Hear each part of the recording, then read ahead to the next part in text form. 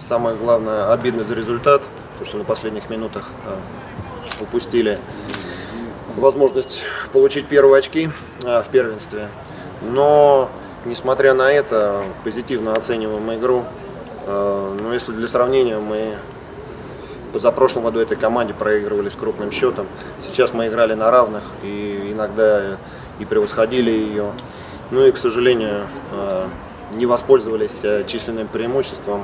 Быстро, быстро у нас тоже игрок удалился. Но мы смотрим, э, еще раз говорю, с оптимизмом вперед. Сегодня попытались играть в более атакующий футбол, нежели в предыдущем матче. Я считаю, у нас это получилось. Ну, поэтому есть куда развиваться, будем стремиться в том же ключе проводить все оставшиеся матчи. Вопрос от наших журналистов. Вот. Второй дивизион дисциплинирует ребят. Чувствуется, что они как-то взрослее относятся к играм, нежели в предыдущие годы, когда играли в любительском футболе? Ну, естественно, и дисциплинируют, и отношение к футболу совсем другое, более профессиональное. Мы, мы тренерский штаб, помогаем им в этом.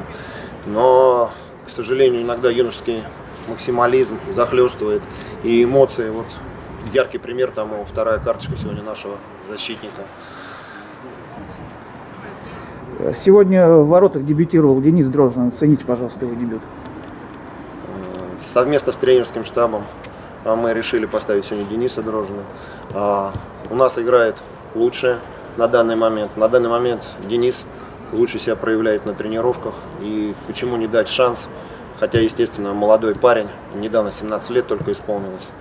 Но когда-то все начинали в таком возрасте. Я думаю, это молодость не порог, и мы с оптимизмом опять же смотрим на его игру.